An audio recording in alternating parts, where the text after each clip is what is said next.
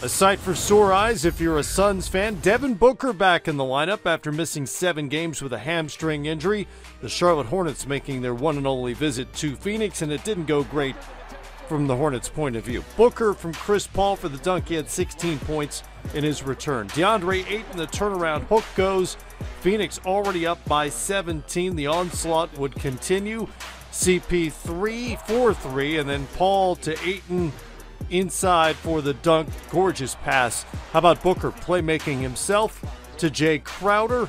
Corner three drops, and the Phoenix Suns up by 22 at the half. The Western Conference champs will just continue pouring it on in the second half. Ayton with the offensive rebound, working hard for the putback as well. 15 points, 15 boards.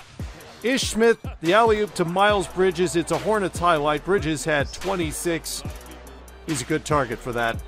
But it was all Phoenix.